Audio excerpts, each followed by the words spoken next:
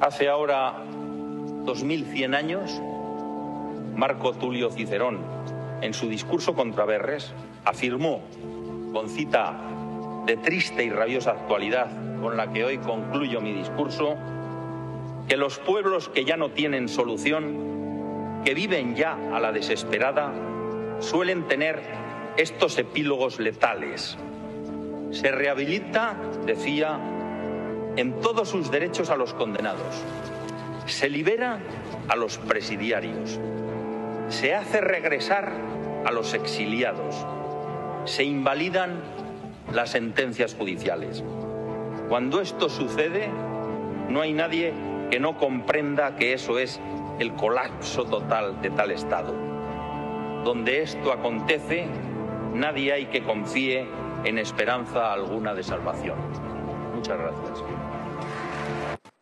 Buenas noches España y bienvenidos un día más al Mundo al Rojo, el programa que cuenta lo que otros callan. Y si ustedes nos están viendo en estos instantes, que sepan que están en contacto con la resistencia, con esa resistencia que jamás se pondrá de rodillas ante el marxismo cultural. Porque aquí que somos soldados de Dios, solo nos ponemos de rodillas ante el Todopoderoso. ¿Qué razón tenía Marco Tulio? Y qué buena explicación dos mil años antes de lo que está pasando en España cuando los delincuentes salen de las cárceles, cuando las sentencias pierden validez, eso es el epílogo del fin del Estado. Y eso es lo que está pasando en España. Hoy mismamente Magdalena Álvarez ha sido indultada por el Tribunal Constitucional, luego hablaremos. La de los ERE, tenía nueve años de inhabilitación, la de los ERE. Ya lo adelantó Sánchez que iba a ser indultada porque es que ya ni se cortan. El Tribunal Constitucional que hace del Tribunal Supremo del Supremo. Esto es un cachondeo, amigos. Y es que, para que ustedes lo entiendan, para que haya democracia, y a ver si se le mete la cabeza a algunos periodistas y a algunos políticos, para que haya democracia, tiene que existir el imperio de la ley. Si no hay imperio de la ley, nos convertimos en una república bananera dentro de Europa. Y hoy, que se celebra los 10 años de Su Majestad el Rey, pues hemos visto como cortesanos de todo tipo, de los medios de comunicación de derechas, que, oigan, cualquier crítica a Su Majestad el Rey, ya usted es un enemigo peligroso. Yo me reafirmo, lo voy a decir, yo soy monárquico y prefiero la monarquía mil veces a la república y sobre todo las repúblicas bananeras. Pero cuando España se convierte en una república bananera en el centro de Europa, lógicamente tendré que criticarlo.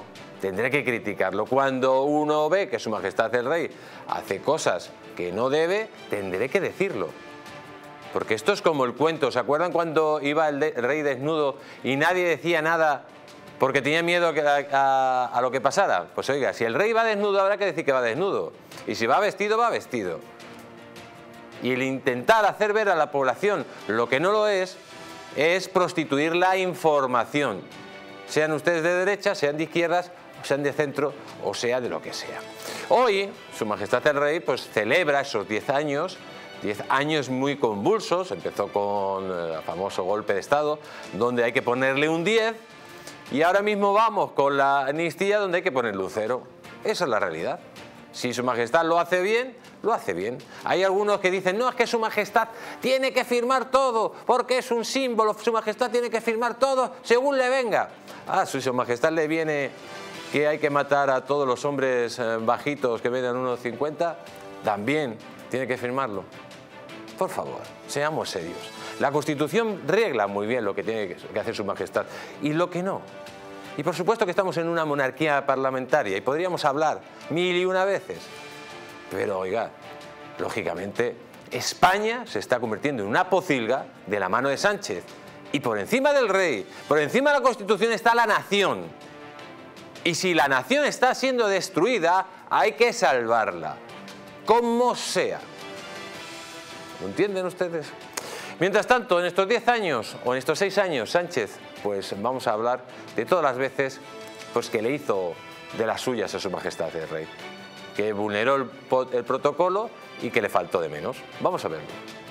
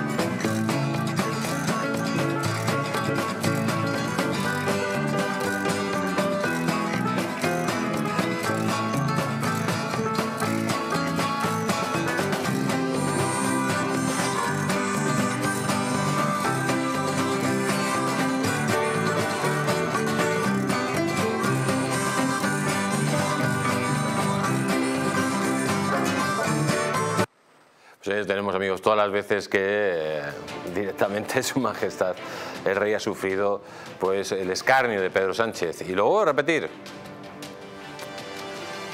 yo quiero la monarquía. Y quiero la monarquía parlamentaria que dure muchísimos años. Pero está en serio peligro en manos de un sátrapa. Y también en serio peligro ante la inacción de la propia institución. Ojo, que eso es muy importante.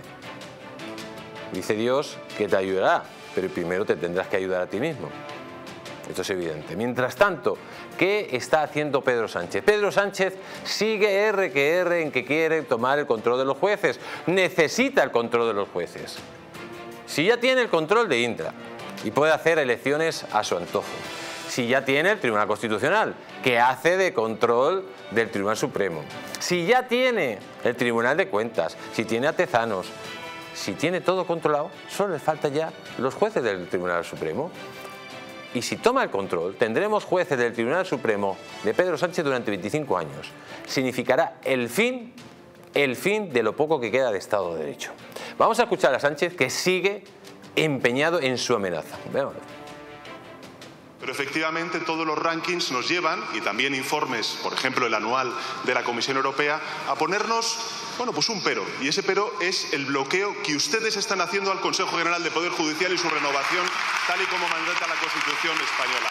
Por cual, señor Feijóo, la pregunta es bien sencilla. Cada vez que hay una opción de que podamos entendernos el gobierno y el principal partido de la oposición, aparecen sus jefes, el señor Aznar, el señor Abascal, la señora Ayuso, y le dicen, ni se le ocurra.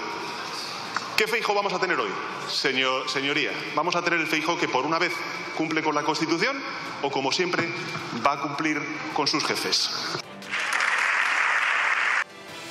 Pues ahí tenemos a don Pedro Sánchez eh, dispuesto a todo, dispuesto a seguir hacia adelante. Solo le queda seguir hacia adelante para poder salvar a su mujer, para poder salvar a su hermano y para poder salvar a su cuñado, a su padre y a todo lo que viene, incluso para poderse salvar a él mismo. Lo hemos visto. Lo hemos visto como ayer la mujer de Pedro Sánchez hizo un escrito brutal amenazando al juez Peinado, pero el juez Peinado le respondió de forma contundente, tengo nuevos informes, por lo cual tengo que llevar, seguir llevando yo la causa. Pero en definitiva, hoy el señor Fijo de nuevo ha estado, la cosa hay que decirla, cuando está mal hay que decirlo, pero hoy ha estado soberbio y le ha dado un auténtico correctivo al señor Sánchez. No solo le ha dicho que el problema de Sánchez es que no le gusta la justicia, que no le gusta el imperio de la ley, sino que además eh, ha prometido que seguirá su plan. Véalo. Señoría, usted ya empieza a ser incompatible con la regeneración. Si quiere acometer un plan de regeneración democrática, aquí tiene uno. Se lo he presentado y remitido a Moncloa hace más de un año. El 23 de enero del año 23. 60 medidas que afectan a todas las instituciones del Estado. Con este plan de regeneración democrática no volverá a haber un militante del partido del gobierno al frente del CIS ni Radio Televisión Española. Con este plan no volverá a haber ministros sentados en el Tribunal Constitucional ni en la Fiscalía General del Estado. Señor Sánchez, no hay regeneración democrática en España posible mientras usted sea el presidente del gobierno. Nada más. Nosotros vamos a garantizar que se cumpla la Constitución española, con ustedes o sin ustedes. Hay que tener cara dura, dice, vamos a hacer que se cumpla la Constitución española, derogándola con la ley de amnistía. Sánchez, así haces cumplir la Constitución haciendo una ley de amnistía que es anticonstitucional, con un procedimiento fraudulento, saltándote todo el reglamento del Parlamento, poniendo a un letrado mayor del Congreso fraudulento. ¿Así haces cumplir la Constitución? ¿Y qué dice la Constitución? La Constitución dice que el gobierno, los jueces, lo tienen que elegir los jueces, 12 los jueces, 4 el Congreso y 4 el Parlamento. Y tú lo que quieres directamente es elegir el Consejo General del Poder Judicial. Tú. Y los y directamente que el Parlamento elija a los miembros del Supremo. Y dice que vamos a hacer cumplir la Constitución. ¿Qué Constitución, Sánchez? Si tú la has derogado, si has acabado con ella, si estás dando un golpe de Estado desde el propio Estado. Es que hay que tener cuajo, hay que tener la cara como cermento armado para hablar que va a hacer cumplir la que, la que, Sánchez, la Constitución, se te tendrías que lavar la boca cuando hablaras de la Constitución si tú la has derogado junto con los comunistas, los terroristas, los golpistas y los prófugos. Has acabado con ella. Tú lo único que puedes hacer es pues traernos lo que nos estás trayendo, una degeneración democrática que es lo que tienes que hacer. Pero hoy, atención, vean el rapapolvo de Cayetán Álvarez de Toledo directamente al señor Bolaños, diciéndole que lea el diccionario. Lo hemos puesto, amigos, porque son esos puntos dentro del Congreso donde se ve el nivel del gobierno cuando la persona que habla pues tiene un nivel superior. Véanlo. Lea diccionario, ¿usted qué quiere decir lecturas? Están ustedes en una deriva desquiciada rumbo a una democracia fallida. Yo quiero reivindicar hoy a los contrapoderes imprescindibles en una democracia plena a los que ustedes atropellan. A los periódicos a los que un pseudodemócrata se atreve a llamar pseudomedios. A los jueces que aplican la ley al investigar a una presunta corrupta y procesar a un malversador, aunque se llamen Begoña Gómez y Carlos Puigdemont. Y a los fiscales que reciben insólitas órdenes de delinquir para blanquear al socio del gobierno y ensuciar al novio de una rival. Un fiscal general imputado. ¿Lo ha pensado, señor Bolaños? El gobierno ya solo depende del delito para sobrevivir. Y algo más. Quiero reconocer hoy al rey, al que la amnistía condena y convierte en blanco de críticas injustas. No, señorías de Vox, el rey no puede negarse a firmar una ley como si fuera un desobediente más. Y no, señorías del PSOE, el discurso de Felipe VI del 3 de octubre de 2017 no debe ser derogado. No porque sea el discurso del rey, sino porque fue y es el de la razón democrática el de la adulta advertencia a los delincuentes y el imprescindible amparo a las víctimas, el discurso de un Estado en el que rige la libertad, la igualdad y sí, la fraternidad. El jueves el Partido Socialista votó en Navarra una moción que llama a nuestra monarquía corrupta e incompatible con la democracia. No lo hizo por fervor republicano. Libertad, ustedes anteponen sus negocios identitarios a los derechos civiles y lingüísticos de millones de ciudadanos. Igualdad, ustedes promueven una discriminación radical. Arriba una casta nacionalista con derecho a delinquir, abajo los catalanes que cumplen la ley y el resto de españoles que pagan. Fraternidad, ustedes liquidan la solidaridad y alientan la división de todo. A ustedes no les mueve el amor a la República, sino el desprecio a la democracia que la corona hoy garantiza y seguirá garantizando. Sí, señor Bolaño, señorías del Frente Populista, por la impunidad y la degradación general. Sánchez pasará, la monarquía constitucional perdurará. Pues ahí tenemos las palabras de la señora Cayetana Álvarez Toledo. Hoy, amigos, tenemos que dar la enhorabuena a la exclusiva que ha dado Albert Castillón una exclusiva brutal que luego sacaremos un, corte gracias a la generosidad de nuestro compañero, donde, atención, la exmujer del director general de Indra, atención, la exmujer del director general de Indra, habla abiertamente que sabía los resultados electorales antes de que se produjeran. O una de dos, o esta mujer estaba casada con Rapel, que no lo creo, o la pregunta del millón, ¿cómo el director general de Indra, según su mujer, podía saber los resultados de las elecciones del 2019? Le dijo claramente, y luego lo verán en el vídeo, que el PSOE sacaría 123, Vox 24 y el PP 66. Exactamente los mismos resultados. Y además estará hoy con nosotros Gabriel Araujo, que va a hablar, amigos, de todo lo que está pasando, de ese escrutinio que no se cumple. Eh, ya hemos descubierto los votos fantasmas de Jun, que son falsos, por lo tanto, cómo eh, se manipuló. Vamos a hablar de las peticiones de nuestro querido Guillermo Rocafort. Atención muy importante al portal de transparencia que está diciendo Marlasca que dé las auditorías de Indra para que diga cuál es el algoritmo y se pueda ver si ese algoritmo se puede dar pucherazo o no se puede dar pucherazo. No lo da Marlaska, amigos, no lo da. Y es que ya llega el momento de que los partidos políticos de la oposición, tanto vos como el Partido Popular, tomen medidas en el asunto. Y digan que tienen que intervenir. Y que Indra no puede seguir llevando el escrutinio porque no cumple los requisitos. Luego lo veremos. Y como siempre les digo, me quieren acompañar en este programa para luchar contra el eje del mal. Con nosotros van a estar los mejores. Con nosotros va a estar Gabriel Araujo. Junto a Gabriel Araujo también estará Vito Quiles, al que se le une Alicia Sánchez Camacho. Con nosotros también estará Marcos de Quinto, Asís Tiberman en un programa, amigos, que no se lo puedan perder, porque además tenemos una sorpresa para todos ustedes. Tenemos una sorpresa que eh, en breve llegará al plató. Recordarles a todos ustedes dónde nos pueden ver, a TDT de Madrid, Guadalajara, Galicia, Aragón, Valencia, Murcia. También pueden vernos Islas Canarias, Sevilla, si no nos, también nos pueden ver por TDT, nos pueden seguir en las aplicaciones para móviles, tablets, televisores inteligentes. Si no tienen uno, cómprese un Fire TV Stick compatible con Amazon, Google o Xiaomi. En los Estados Unidos de América nos pueden seguir a través de Roku, de la plataforma Roku. Y recordarles que desde el 1 de marzo estamos en las cableras en América y nos pueden seguir desde los Grandes Lagos hasta la Patagonia por medio de TV Libertad, nuestra televisión hermana. Recordar en redes sociales, Facebook, Twitter y YouTube. Desde aquí un fuerte abrazo a nuestra querida Mari Carmen y a todos nuestros guerreros. Y pueden mandar el mensaje o los mensajes que quieran al teléfono de WhatsApp que sale en pantalla al 669-728673. Y vamos a empezar, y vamos a empezar amigos, porque lo que ha pasado hoy, lo que, la pedazo exclusiva que ha dado Albert Castellón, hay que tenerla en cuenta. Y demuestra que Indra no es una empresa fiable. Indra no es una empresa fiable por una sencilla razón. Porque ya ha sido condenada por la Audiencia Nacional por estafar al Estado, lo que supone que el Estado no puede contratar una empresa que previamente ha sido condenada. Porque, amigos, Marlaska no da las auditorías de Indra, no las da.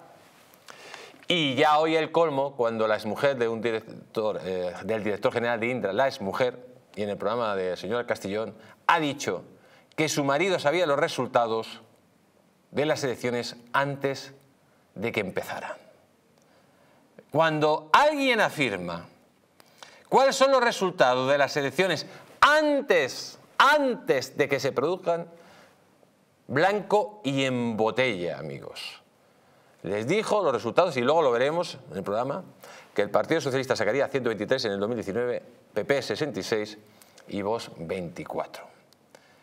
Ante estas circunstancias, no hay duda. Si no hay transparencia, lógicamente hay sospechas. Y ya no hay sospechas, sino indicios muy claros, porque hay confesiones. Ha dicho esta señora que podría ir ante un juez y declarar exactamente lo, eh, lo que ha dicho en el programa de televisión. Y es que, amigos, España, España se está convirtiendo, como hemos dicho durante tiempo, en una auténtica pócila. Hoy ha sido indultada Magdalena Álvarez. Ese esperpento que vino de Andalucía, nos la plantó aquí Zapatero y que ha sido condenada por el mayor fraude, por el mayor caso de corrupción de la historia de España. Más de 600 millones de euros que saquearon a los parados los socialistas. Y hoy el Tribunal Constitucional se convierte en Tribunal Supremo de nuevo. ¿Quién es el Tribunal Constitucional para convertirse en un Tribunal de Casación? En un Tribunal Supremo del Supremo. El Tribunal Supremo es la última, la última frontera. El Tribunal Constitucional no puede estar metiéndose en sus competencias, porque estaría cometiendo un presunto eh, caso de prevaricación, de estar actuando a costa de cosas que no están actuando. Y lógicamente, lo que vemos en estos instantes es que Sánchez, de nuevo, indulta o da la amnistía a uno de sus corruptos. Hoy hablamos de que se celebran 10 años de que Su Majestad el Rey llegara al trono. Lo vuelvo a repetir, no se me caen prendas. Prefiero mil veces una monarquía antes que una república. Pero lo que no voy a hacer es ser un cortesano arrastrado y aplaudir con las orejas a todo lo que haga su majestad el rey. Lo haga bien o lo haga mal. Si lo hace bien, lo aplaudiré, lo aplaudiré. Si lo hace mal, no. Y ante lo que está pasando en España, que se acaba de dar una amnistía a unos tipos que han dado un golpe de Estado, a unos tipos que han malversado más de 1.300 millones de euros, que se acaba de dar una amnistía a una señora que forma parte del mayor caso de corrupción de España, que el presidente del gobierno quiere destruir la democracia tomando el control de los jueces y acabando con los medios de comunicación, que cada día hay más pobres, que cada día hay más colas del hambre, que cada día nuestra democracia se tambalea. ¿Usted cree, Majestad, que hay algo que celebrar? Cuando España, que es una monarquía parlamentaria, se está convirtiendo en una república bananera en el corazón de Europa? Eso es lo que me preguntar yo. Yo habría que celebrar si no tuviéramos pues a los golpistas, a los marxistas y a un tipo enloquecido llevando al país directamente al guano. Pero amigos, entre lo de Indra, entre la amnistía, entre que quieren tomar el control de los jueces y todo lo que viene después, creo que hoy no es un buen día de celebraciones. Y recuerden amigos que no les engañen, porque la verdadera libertad consiste en estar bien informados.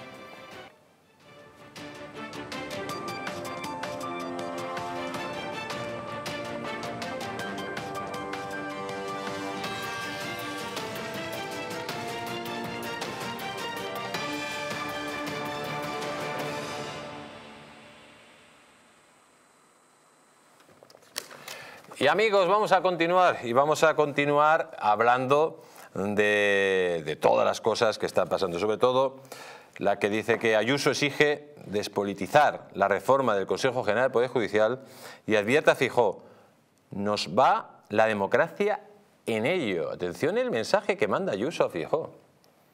Porque claro, están las negociaciones. Le llama cada vez que Bolaños levanta la mano, Van Pons, sí señor, dígame si se cede ante el Consejo General de Poder Judicial, se acabó la democracia. Y ustedes serían cómplices de ello. Otra cosa muy diferente es que Sánchez, vulnerando la ley, vulnerando la ley y vulnerando la Constitución, diera, siguiera con su golpe de Estado. Ahí, lógicamente, sería otra cosa. Señor Fernando Sancho, buenas noches, ¿cómo está usted? Buenas noches, muy bien, don Jesús Ángel. Aquí de nuevo encantado de estar con todos. ¿Está usted, ¿Está usted de celebración? Yo no tengo nada que celebrar. Como millones y millones, como millones y millones de españoles. La verdad es que. Le, voy a hacer una pregunta. Eh, todos estos periodistas, sobre todo cortesanos, yo lo voy a repetir, lo digo, y me siento profundamente monárquico. Pero, pero eh, una cosa es monárquico y otra es decir a todo que está bien cuando no está bien y encima engañan a la, opinión pública, ¿no?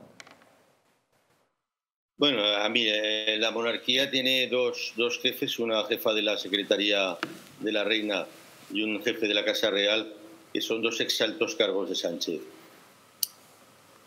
¿Mm? Estamos, ¿no? Pues más claro, más claro el agua. ¿Qué opina de lo que ha dicho Ayuso? ¿Qué opina de lo que ha dicho Ayuso de ese mensaje que le ha lanzado Fijó? Lo primero que quiero decir es que el Partido Popular es una olla presión. Una olla presión. Ahora mismo la situación es terrible dentro del partido, dicho por gente de dentro del partido. Me han llegado ese tipo de situaciones que se están viviendo. Es una auténtica olla a presión.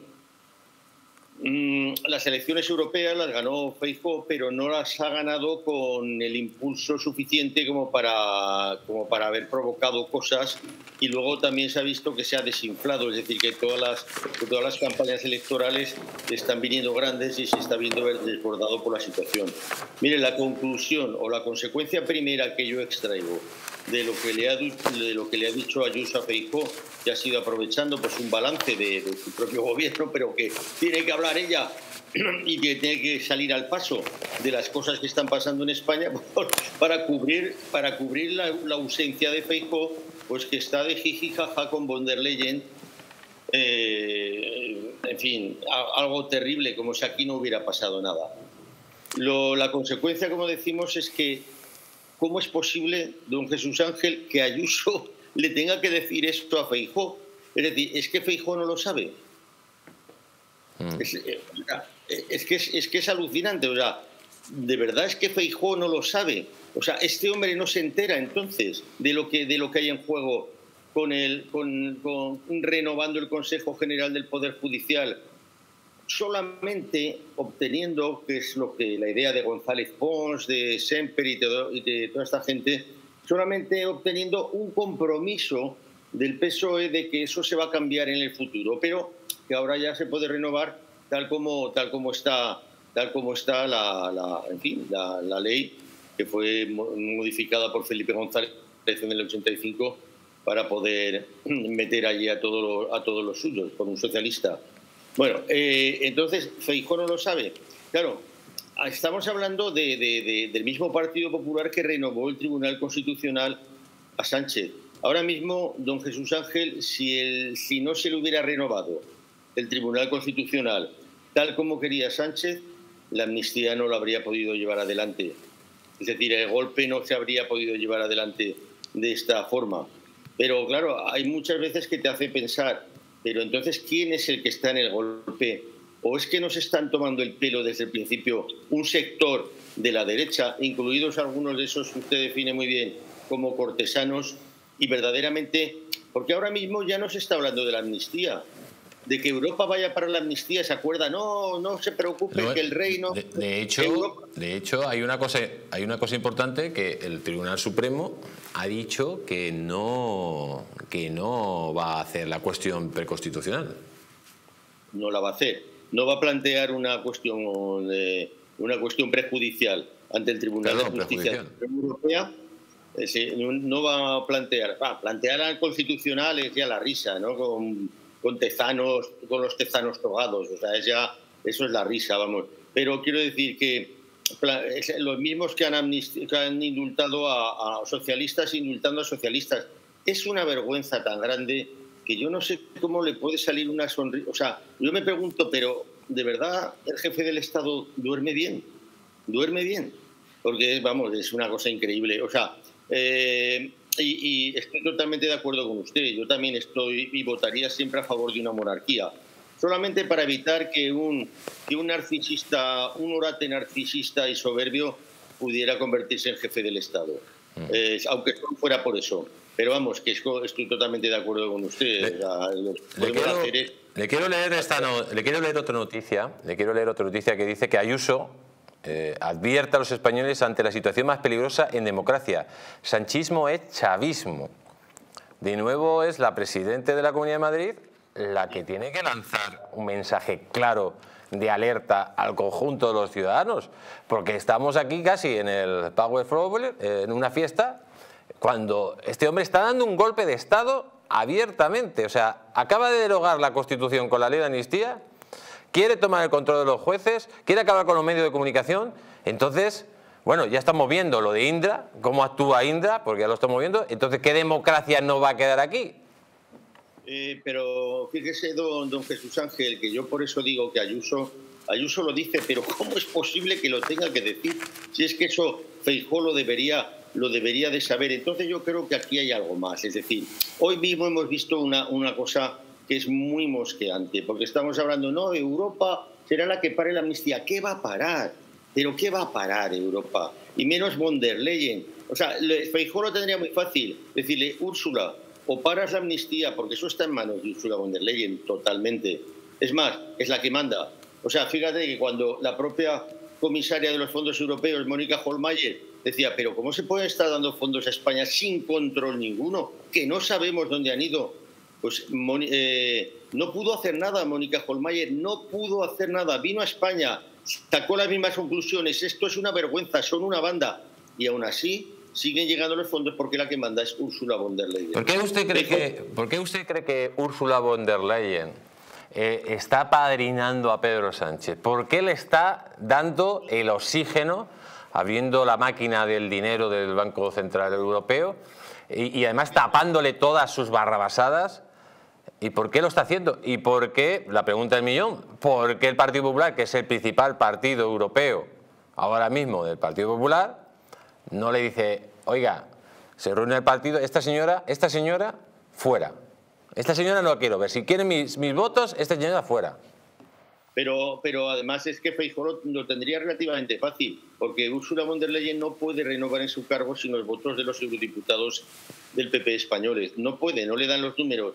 Es decirle, bueno, pues si quieres seguir, eh, eh, eh, bueno, pues anula la amnistía al, orate este, si quieres, pero es que no lo hace, no solo eso, fíjate, hoy ha habido un hecho muy mosqueante y es que, es que encima la Comisión Europea, en la que todavía sigue mandando, obviamente, Ursula von der Leyen, que es la que corta, pincha y corta, la Comisión Europea ha sacado a España de, de los países que incumplen el déficit, aun a pesar de incumplirlo. O sea, es decir, le están dando crédito a las cuentas fake de Sánchez, diciendo que no, que no se preocupen que lo cumplirán, cuando no lo cumplen y tendrían que estar ya entre los países que no han cumplido el déficit y someterse a una serie de sanciones. Bueno, pues es que ahora mismo le ha tendido la mano Ursula von der Leyen hoy, este mismo miércoles. Quiero decir, esto es muy mosqueante. Esto es una, una, esto no es normal. O sea, que le tenga que estar diciendo a Ayuso a Feijóo, no se entera o es que aquí hay complicidad, porque vamos a hablar ya con claridad. O sea, ahora ya no se habla de amnistía. ¿Ha oído usted, se acaba de aprobar, se hace cuatro días se aprobó la amnistía? ¿Ha oído usted al Partido Popular? Vamos a Faijo, voy a convocar una manifestación masiva en toda España llamando a todos los rincones de España para llenar Cibeles con tres millones de españoles diciendo hasta aquí hemos llegado y exigiendo... No, se acabó, ya no se habla de la amnistía, no se habla ya para nada. No se habla, no lo habla ni Feijó ni, ni, vos tampoco lo hablan. No, no, no va a haber ni una perjudicial, ni va a haber nada. Los, los fiscales los han apartado, a los fiscales valientes, valerosos, a los cuatro fiscales del Procés, encabezados por Zaragoza, los han, los han aparcado porque por dos votos pudo sacar adelante la votación del Consejo Fiscal el, el, el, tezanos de, el tezanos togado de la Fiscalía General, de quien depende, pues ya está. Que estamos en una. que estamos ya. En, o sea, esto. que ya somos Venezuela. Y esto es que ya somos Venezuela. Yo decía, hombre, no podrá pasar porque aquí hay una jefatura del Estado. Pero es que, de verdad, don Jesús Ángel, visto lo visto, pues ya no lo sé, ya no sé qué pensar, porque es que, eh, o sea, resulta que al día siguiente de que el jefe del Estado les hace digamos que cumple, vamos a decir que cumple con su obligación o la que le hubieran dicho sus asesores de avalar esa aberración jurídica de la amnistía que es su propia deslegitimación. Y al día siguiente todos los socios de Sánchez salen con un muñeco eh, mofándose, pero mofándose del rey y, diciendo, bueno, es que es, es, que es, es, patético, de verdad. Esto es, es insostenible la situación, pero sobre todo es insostenible no ya por, por, por, los malvados, porque los malvados ya lo sabemos que van a hacer el mal y sabemos cómo son. Pero es que además, si se da cuenta de la, la, paradoja, la paradoja de esta situación es que Sánchez cada vez tiene menos apoyo.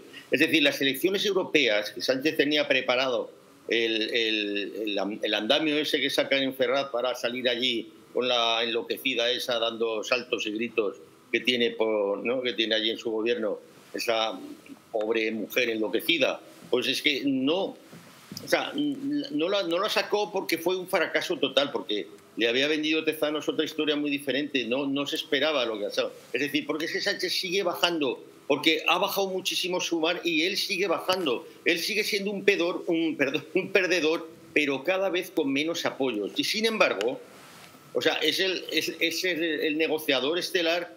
Claro, Solce está también como está. Solce está casi peor que Sánchez. Pero bueno, quiero decir, Sorge eh, está de Sánchez de negociador estelar en la Unión Europea, de negociador estelar en una Unión Europea que ha dado un cambio radical y que von der Leyen en todas sus obsesiones mantener las cosas como están. Mantener las cosas como están, veremos si lo puede conseguir, pero con el apoyo. Y para mantener las cosas como están es lo que digo, no se va a tocar nada. A Sánchez se le va a dejar que haga de las suyas de manera tal, y mira, es un tema de España y a nosotros qué más nos da. Pero si es que hay una guerra en Europa y, y, y, ha pasado, y que van a lo suyo. O sea, que es que, eh, a ver, es un nido de burócratas y de corrupción de la Unión Europea. Lo que, lo, lo, que salió de, las, de los sobornos de Qatar y de Marruecos es una punta del iceberg. y se ha echado tierra sobre ello. Y son todos socialistas. Es, es la ciénaga de corrupción del socialismo la misma ciénaga de corrupción que amnistiaba o que indultaba a, de los seres que indultaba a, a, Magdalena Álvarez, que por cierto Sánchez ya lo sabía, y por eso ya la es que ya lo sabía, es que es tan descarado todo. O sea, es que ya sabía lo que iba a pasar, porque la llevó al mitin, al mitin de, de, donde fue un pueblo de Málaga, me parece, ¿no? Al mitin de, de donde donde llevó a de Málaga. De, de Málaga. Eh, donde llevó a, a su mujer y donde llevó a Magdalena Álvarez para ponerla como víctima de la máquina del fango. Bueno, eh, de verdad, don Jesús Ángel, que es que aquí hay complicidad, que no puede ser porque esto se podría cortar. Es decir, aquí estamos hablando, que lo dijo perfectamente el otro día de forma muy clara, esta chica jovencica, pero que es brillante, verdaderamente, la portavoz de, de Vox, eh, Pepa Millán, ¿no? Eh, es una abogada, una letrada que se le ve. O sea, vaya, usted terminando, don, Fernando. Yo lo dijo, claramente, es que es ilegítimo lo que ha hecho Sánchez porque Sánchez ha retorcido cualquier vía eh, normal de, digamos, establecida en la democracia para llevar adelante una ley de esta naturaleza. Pero aquí el único que puede retorcer la normativa es Sánchez. Y si luego tienes una mayoría absoluta en el Senado, digo, yo voy a retorcer lo que haga falta para que ese retorcimiento de Sánchez no sea eficaz, no lo haces porque, ay, no, aquí el único que puede retorcer, retorcer la ley es Sánchez. Y luego el rey, que encima tiene la prerrogativa del derecho de gracia, expuesto claramente, artículo 62i de la Constitución, 102.3 de la Constitución, artículo de... Bueno, o sea, yo digo que con esos dos artículos ya está más que claro la prerrogativa del derecho de gracia. Entonces no hay discusión que valga, ¿no? Porque los cortesanos dicen que qué barbaridad que no hay discusión los cortesanos, que son lo peor, porque son, al final es que son cómplices, don Jesús Ángel. Y luego lo que le digo, el PP, una olla a presión, una olla a presión porque Ayuso yo creo que está dando cuenta que aquí hay algo más. Ayuso es la, mm, eh, es la que le han, vendido o sea, eh, a Ferraz, al entorno de Sánchez, le están contando eh, el equipo de Feijó, lo, lo publicaba el otro día Confidencial Digital, le están contando al equipo de Feijó, el propio, eh, o sea, el equipo de Feijó le está contando al entorno de Sánchez que claro que Feijó eh, a veces se muestra así, pero que la culpable es, Ayuso. Es que es ella la que le, obliga a estar así, porque si no, ¿cómo, ¿cómo, la paras? O sea, le están como acusicas, como acusicas. En fin, es, eh, es una situación, porque el problema no es que estén los malos que cada vez tiene menos fuerza, menos poder, y si hay repetición electoral en Cataluña, seguramente hará coincidir con una repetición electoral en generales, pero y, tiene cada vez menos fuerza, sino que el problema es los cómplices, cómplices, ya no hablamos de inacción, ya no hablamos de pasividad, ya no hablamos de cobardes, ya no hablamos de cobardía, don Jesús Ángel. Yo creo que es momento ya de empezar a hablar de complicidad. Señor Sancho, como siempre, un placer tenerle aquí en el mundo al rojo y recibe un fuerte abrazo. Un fuerte abrazo. Y vamos a, vamos a continuar, vamos a continuar con esta noticia que dice que García Ortiz amordazó a la cúpula fiscal y prohibió el debate para recurrir la amnistía en España. El fiscal general del Estado, Álvaro García Ortiz, ha prohibido el pasado martes a los fiscales de sala mostrar su visión sobre la conveniencia de que los jueces planteen una duda jurídica al Tribunal de Justicia de la Unión Europea con la ley de amnistía. En la reunión clave de la Junta de Fiscales sobre el borrado de delitos, los miembros del Ministerio Público han mostrado su malestar por estar ante una discusión coartada.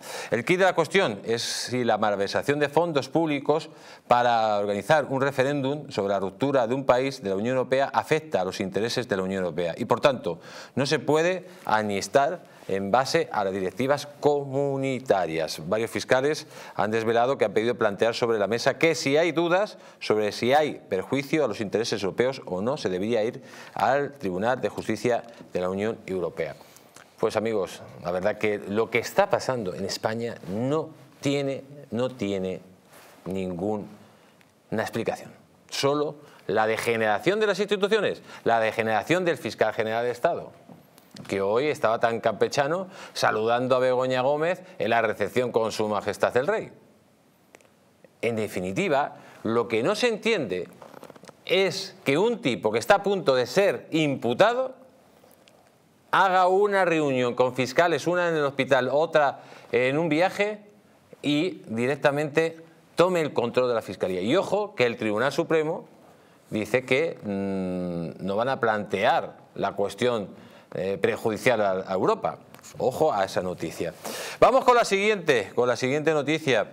Eh, estamos hablando de que un constitucional contaminado amenaza con borrar la prevaricación de 130 millones de euros. El Constitucional tiene en su mesa los recursos de amparo de los 12 autores del mayor saqueo público de la historia española, los ERES de Andalucía. Ya han bendecido el primero de ellos, Madalena Álvarez. Se le rebajará su condena por una generosa y creativa reinterpretación de su delito, prevaricación. Pero algunos miembros del ala socialista, miembros del tribunal, portan una pesada mochila de incompatibilidad ética y lidian una condena por prevaricación unánime en instancias y casación. Todos son autores del delito de prevaricación. Choca que sea el oponente, la vicepresidenta Inmaculada Montalbán, con el medallero que acumula de la Junta de Andalucía y del Partido Socialista. La que llevara la ponencia, amigos. Es que es increíble esto. Es increíble lo que está pasando. O sea, el mayor caso de corrupción de la historia de Europa, más de 600 millones de euros, y van a darle la amnistía por medio del Tribunal Constitucional. ¿Se lo pueden creer? Pues eh, vamos a presentar ya a nuestros invitados que ya están con todos nosotros. Con nosotros ya está con el señor Vito Quiles. Buenas noches, don Vito, ¿cómo está usted? Muy buenas noches, Jesús Ángel, y un placer estar aquí un día más bien acompañado. Además que sí. Don Francisco Nicolás, ¿cómo está usted? Don Jesús Ángel, muy buenas noches. Un placer conocerle, conocerle en persona y, muchas ganas de, de verle por aquí por el mundo rojo. Lo mismo tengo que decir. Pues amigos, vamos a hablar primero de lo que ha pasado esta semana con, con Vito Aquiles. Eh, directamente ha sido atacado por un ministro de Sánchez llamándole saco de mierda. Eh, señor Quiles, cuando un ministro de un gobierno que se dice democrático, que no lo es, eh, se mete en el juego contra un periodista para señalarle, marcarle, y encima le trata con esa bajeza, ¿A usted cómo se le queda el cuerpo? Bueno, yo creo que no tiene precedentes en la historia democrática reciente que un ministro del gobierno de España se dirija con esos calificativos a un periodista, a un comunicador o da igual, a un ciudadano, porque al final yo creo que es inaceptable esas declaraciones para cualquier persona. Realmente el ministro se cree que él no está representando a todos los españoles, que representa solo a su comunidad de Twitter, como él dijo en una entrevista, o que representa solo a los electores socialistas. Yo creo que el ministro tiene que ser consciente de la responsabilidad que conlleva su cargo y no puede ser ¿no? Que se dirija a cualquier persona, a cualquier ciudadano en esas formas en esos términos. Además, yo creo que esto ya no va ni, ni por mí, yo creo que ya es realmente a toda la disidencia. El Partido Socialista, con esa ley de medios que ha anunciado Sánchez, está articulando una brutal ofensiva que, que va contra todo realmente. Y yo creo que hoy soy yo, pero mañana será otro, y lo que van a hacer, eh, y ya es inevitable, es censurar a todos los medios, a todos los comunicadores, a toda la gente independiente, a todos los que criticamos a través de las redes sociales, a todos los que cuestionamos ciertas actitudes del gobierno, y van a por nosotros, Jesús Ángel, ahora más que nunca. Eh, don Francisco Nicolás, eh, ¿qué opina usted de lo que está pasando en este país cuando a una persona como Vito, que tendrá sus defectos, sus virtudes, pero es un profesional, yo no le he visto nunca faltar al respeto a nadie, hace las preguntas con todo respeto del mundo, el gobierno de España le señala no solo el señor Puente, sino también el señor el Pachi López, que incluso le marca la cruz, que es el principio, lógicamente, de la destrucción del Estado de Derecho, porque sin libertad de prensa no hay Estado de Derecho ni democracia. La destrucción yo creo que empezó hace tiempo. Eh, hace 10 años yo estaba en la proclamación del rey Felipe VI eh, y estaba ahí, invitado, y se dijo absolutamente todo sobre mí. Yo creo que lo que estamos haciendo es desviar la atención. Ya se, ya se hizo en su día conmigo y lo estamos haciendo con Don Vito Quiles, eh, que más que errores tiene aciertos. Yo todavía no he visto un solo bulo o una sola mentira que le haya dicho. Otra cosa es disfrazar la verdad. Entonces vamos a hacer el funcionamiento de la izquierda. Esto es como lo que dijo en su día Albert Rivera sobre el plan Sánchez, que todo lo que dijo se ha cumplido. ¿Qué ha pasado con el señor Vito Quiles? Pues que ha descubierto una cosa que era verdad, pero que a nivel político no se puede decir que es verdad. ¿Por qué? Porque al final lo que ha descubierto no solo Vito, sino la ineficacia y el cafre del ministro que tenemos, es que el coche, del coche ¿no? evidentemente. Vamos a explicar lo que ha pasado. En este caso no sería el plan Sánchez, sino sería el plan ataque a Vito Quiles. ¿Qué es lo que ha ocurrido exactamente? El señor Vito Quiles, periodista, porque periodista es, le fastidia a algunos o no, pero periodista es. ¿Qué es lo que ha hecho? Desmantelar que este señor, siendo ministro de un partido socialista que defiende que hay que tener, o que mejor dicho, que no hay que tener unos privilegios, aparece en el palco del Bernabéu y deja un coche, un vehículo suyo, donde él estaba subido, lo deja en el palco del Bernabéu. Un lugar que tú conoces bien, por cierto, ¿eh? porque al palco del Bernabéu va la casta, sobre todo. Bueno, este señor deja un coche. Este periodista que aquí tengo sentado a mi izquierda no diferencia qué tipo de vehículo es, porque no tiene una formación ni policial, eh, ni ningún tipo de, formación para vincular ese tipo de vehículo a, una forma, a, un, a un vehículo policial. Lo único que hace es decir, hostia, este vehículo pertenece a este ministro. Muy bien, pues sigamos. ¿Qué es lo que ha hecho el ministro? Identificar el vehículo como vehículo que iba con él. ¿Por qué? Porque en el argot policial el vehículo que le estaba siguiendo es un vehículo de reacción y es un vehículo de la cápsula. ¿Qué es lo que quiero decir con todo esto sin entrar en el argot policial y sin nada? Que el coche ese era del ministro. Por lo cual, el que ha admitido y el que ha consentido que se sepa que ese vehículo era policial es el ministro. Entonces, ¿a quién tenemos que denunciar por revelación de secretos? ¿Al ministro o a este pobre periodista que no sabía eh, ni qué tipo de vehículo era? Pues evidentemente al ministro tendríamos que denunciarlo por, por revelación de secretos. ¿Qué es lo que se hace ahora? Pues nada, poner toda la máquina del Estado en contra de este señor. Es, es una vergüenza. A mí ya me pasó en su día algo parecido, pero lo que pasa cada vez eh, que pasa los años todavía es peor. Entonces, eh, bueno, pues nada, eh, inseguridad por ejemplo, usted la han cogido, está saliendo libre de todos los juicios que ha tenido. le hicieron también una causa general, muy parecida, muchísimo más todavía a la que le están haciendo al señor Vito Quiles, ¿no? Cuando se tiene a todo el Estado en contra, eh, uno que, ¿qué siente? Eh, no sabe dormir por las noches. las noches son muy duras. No sabes cómo dormir y no sabes cómo enfrentarte a algo que no tienes poder para enfrentarte, porque al final lo que ocurre es que eh, todos son los malos y te das cuenta que en realidad el bien no existe. Y eso todavía a día de hoy me sigue pasando. No te das cuenta de las cosas. Pero bueno, lo único que nos queda es eh, seguir hacia adelante. Si no avanzamos nosotros, ¿quién va a avanzar?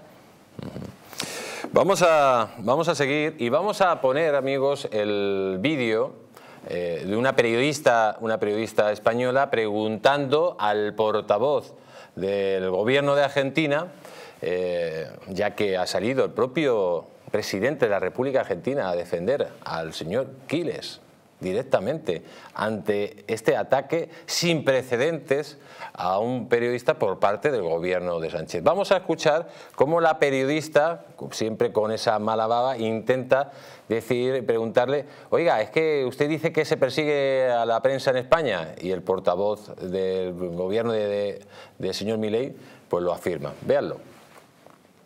Este jueves, el día de mañana, 19 horas Argentina, el presidente partirá en un vuelo especial rumbo a la ciudad de Madrid, en el Reino de España. Quería que nos hiciera algún comentario sobre los últimos mensajes que el presidente ha escrito en la red eh, Twitter. Ha vuelto a arremeter contra el gobierno de España. Dice que es un gobierno autoritario. Los cruces con España ya estaban saldados. ¿Por qué sigue arremetiendo contra el gobierno español y si cree que hay un socialismo autoritario que además persigue a los periodistas? Por supuesto que es un un tema saldado y por supuesto es un tema donde no van a ponerse de acuerdo jamás, ¿no? Porque de un lado nosotros tenemos un presidente liberal y del otro lado un presidente que no lo es. Entiendo que cuando hablamos de discusión saldada es porque efectivamente se terminó, no hay mucho más por agregar. ¿El gobierno argentino considera que en España se persigue a periodistas? El presidente fue claro con un caso en particular que hubo con un periodista al que consideramos que ha sido maltratado y en tal caso no tratado en el marco de la libertad de prensa y de expresión que todos pretendemos que existan no solo en Argentina, sino en todo el resto de los países del mundo. Así que sí, efectivamente lo que el presidente manifiesta es efectivamente lo que pensamos todos. Pues es que eh, a un repaso increíble, o sea, la periodista dice, ¿es que se están persiguiendo periodistas? Pues efectivamente se están persiguiendo periodistas y además de muy malas formas. Porque le voy a hacer una pregunta. Yo, yo he visto los reportajes. Usted generalmente hace reportajes audiovisuales, ¿vale? Entonces usted pregunta, la gente responde. ¿Dónde están ahí las mentiras? ¿Dónde están ahí los bulos? Porque eso no tiene ni, ni trampa ni cartón. No, y sobre todo al final me sorprende que me parece que era una periodista española además, que estaba española, en Argentina, pues eh, no soy capaz de entender cómo muestra aparentemente incredulidad cuando, cuando le dice el señor Adorni muy educadamente que se están persiguiendo periodistas. Pues ella ha tenido la suerte que el señor Adorni es educado, es elegante y le ha respondido, porque aquí en España muchos no nos responden y ella lo debería saber, que es una afortunada por estar en esa sala de prensa y no en la de Congreso de los Diputados, que es la que sufrimos muchos que estamos en la disidencia y a, a los que se nos humilla y se nos maltrata constantemente. El señor Adorni, yo le agradezco sus palabras porque además eh, manda, hay que decirlo así, manda cojones que un mandatario extranjero tenga que ser el que defiende un periodista español de la censura. Hasta, Y- hasta el presidente de la República también la ha defendido. y de es alucinante, y además yo se lo agradecía a Milei, o sea, es alucinante como tiene que ser el señor Milei, un presidente de otro país, el que venga aquí a garantizar la libertad de prensa en España y a decir que esto no puede ser, que se está vulnerando la, la libertad. Yo creo que además son todos muy hipócritas, ¿no? Porque como el país, como el diario.es y como muchos otros medios de la secta ultraizquierdista no sufren la censura, pues creen que en España no hay censura. Y luego estamos nosotros a los que, mira, nos cierran el canal, eh, era todo ha pasado recientemente, le han cerrado el canal de YouTube, no se sabe por qué, hay medios de comunicación que el gobierno está persiguiendo judicialmente, el otro día Oscar Puente pidió el cierre de un medio de comunicación de Valladolid, ahora a mí me persiguen constantemente, también me censuran y muchos otros periodistas que están siendo brutalmente atacados, ¿no? Entonces yo sí que agradezco a Argentina y al presidente, el señor Milei, que me haya apoyado y luego sobre todo también, bueno, considero que es necesario porque aquí parece ser que cualquier crítica al gobierno es un bulo. De mí han dicho ya de todo esta semana, que miento, que todo es mentira, que eh, tenía una orden de detención contra mí y luego resultó que era un error y nadie rectificó. eh, que- Que, es el- que es el- que es- que usted es el, el jefe de prensa del señor Albizu. Sí, bueno, ahora dicen que soy el jefe de prensa del vice porque los propios periodistas, eh, esto lo tengo que contar, los propios periodistas en la jornada electoral del último día, en, en la noche electoral de Alvise Pérez, me pidieron eh, poder seguirlo porque saben que, que le conozco, que me llevo bien con él y como tienen mi contacto y no el suyo porque yo trabajo en los medios de comunicación, pues articulé un grupo para facilitárselo un poco más ante el consentimiento de Alvise que me dijo que estaba de acuerdo en que le cubría los medios de comunicación porque él no es un censor como los otros partidos. Y ahora dicen que soy el jefe de prensa, cuando realmente no hay ni partido. O sea, es que lo de Alvise no es, es una agrupación de electores, no es ni un partido político, ni tiene representación, ni yo estoy a sueldo, ni hay ningún acuerdo laboral, contractual que justifique que yo esté a sueldo de ese partido. Con lo cual es imposible que yo sea un jefe de prensa de nada.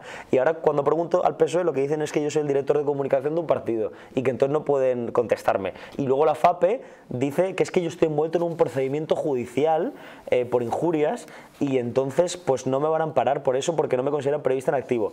Pero ¿y el señor de la agencia EFE? Presidente que ha salido en las listas electorales, que iba en las listas como candidato del Partido Socialista, o el señor Escolar, que dicen eh, a mí que a mí no me pueden defender porque estoy en un procedimiento de injurias y él está condenado por mentir y muchos otros y la SER y Ángel Barceló y la Sexta y muchos medios de comunicación y ahora Hombre, el a mí no se me puede con- defender. más condenado por injurias y calumnias es el país.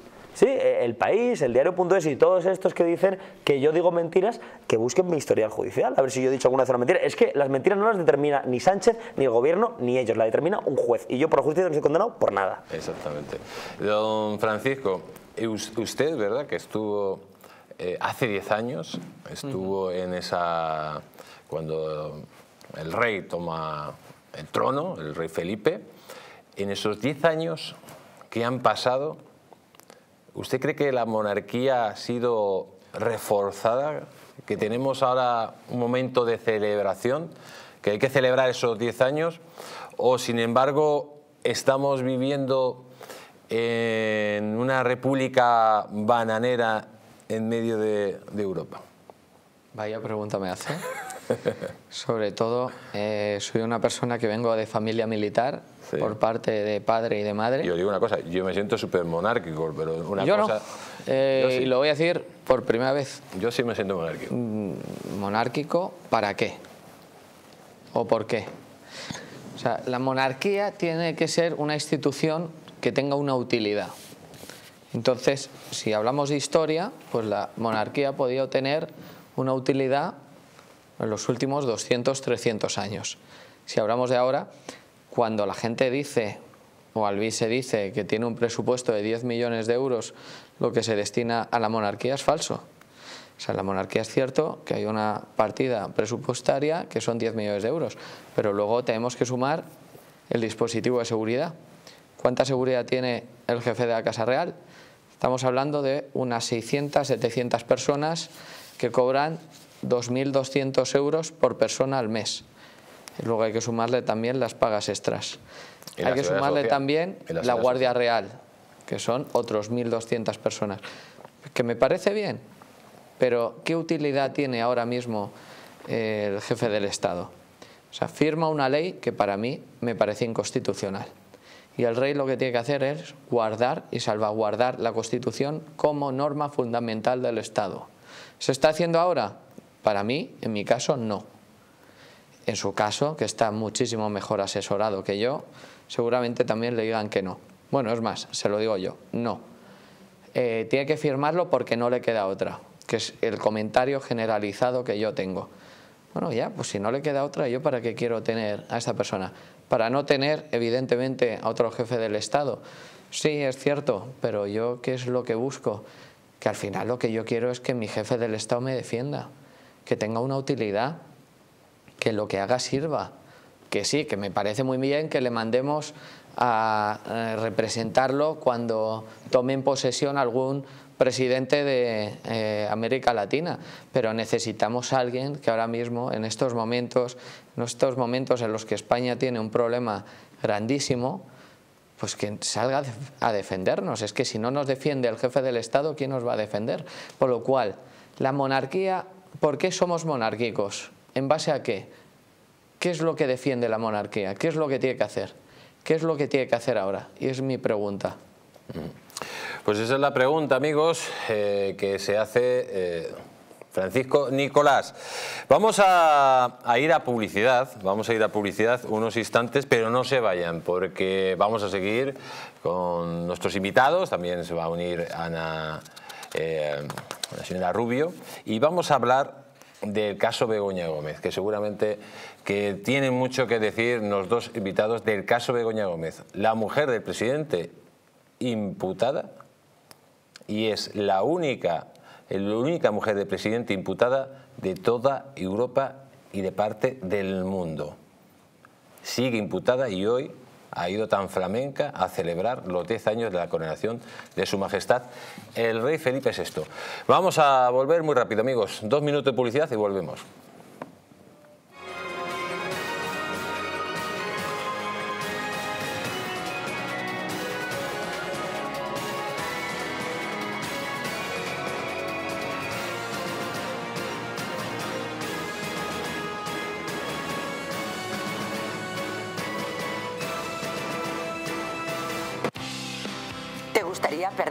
Esos kilitos de más? ¿Volver a utilizar aquellas prendas que tanto te gustaban?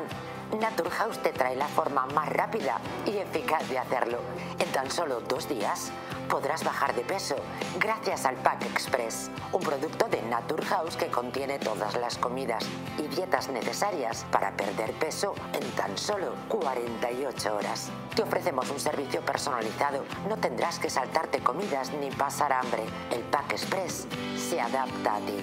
No lo pienses más y acude a tu centro Naturhaus más cercano. ¿Te molestan las manos al realizar las tareas diarias? Frente al dolor, utiliza los guantes de Relax Quanting Nanotech. Innovación revolucionaria en la lucha contra el dolor y la rigidez. Con sesiones de 20 minutos los guantes aportan masaje, vibración y también calor, proporcionando alivio medio del tormento. Puedes adquirirlos con unos consumibles impregnados de sustancias naturales antiinflamatorias que, si se ponen durante la sesión, pueden aumentar el beneficio del guante. Olvida los engorrosos baños de agua caliente y las cremas antiinflamatorias. Libérate con los guantes de relax Quantin Nanotech. Hotel Las Dunas, un lugar mágico en el corazón de la Costa del Sol. En primera línea de mar, situado en un oasis de armonía, tranquilidad, enfocado en la salud y bienestar de nuestros huéspedes. Desconecta del estrés y la monotonía del día a día. Estancias con programas exclusivos y personalizados de salud, rejuvenecimiento y control del peso. Elegancia y bienestar junto al mar sin renunciar a la actividad y la vida saludable. Descubre las Dunas Hotel Health and Spa, el más exclusivo de toda la Costa del Sol.